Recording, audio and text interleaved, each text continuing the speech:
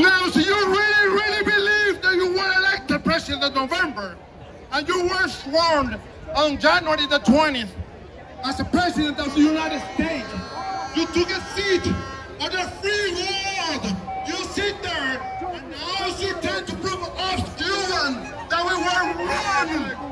that you won't for freedom. You are president of the United States, and I'm my president because I am an American citizen. Back like five years when I, I, I got 26 years. So please listen to us. Our people are dying.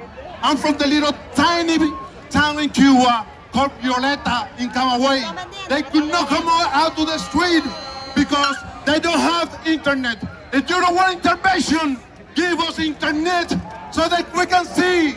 Please, Mr. Biden, listen to us. ¡Abajo el comunismo! ¡Abajo la dictadura! ¡Abajo Díaz Canel! ¡Díaz Canel asesino! ¡Asesino! ¡Asesino! ¡Asesino! Y va a ser libre. Y va a ser libre. Gracias, Dios mío. Gracias,